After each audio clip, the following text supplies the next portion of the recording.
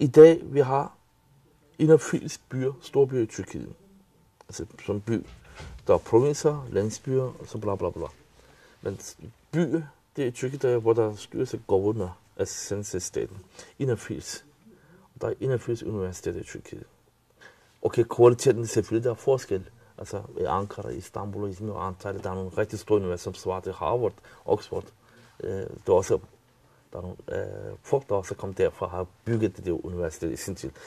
For eksempel Mellemøst, øh, Middle East Technical i Ankara. En af regionens største universitet, som anerkendt hele verden, også i Danmark. Hvis du siger, at vi er sluttet, at jeg er afsluttet, jeg er færdig på Mellemøst Teknik Universitet, eller Istanbul Teknik Universitet. Hvis du siger, at du er færdig inden en ingeniør derfra, eller hvad det er, du kan få sådan en job i dag i verden.